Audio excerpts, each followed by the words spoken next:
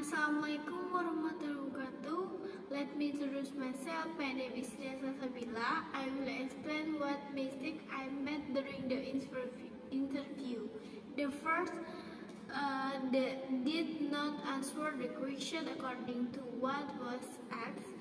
Two, lack of focus in answer question.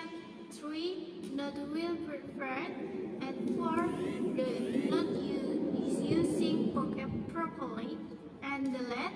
or five, lack of finding out about the profile of the company being applied for. Thank you and wassalamualaikum warahmatullahi.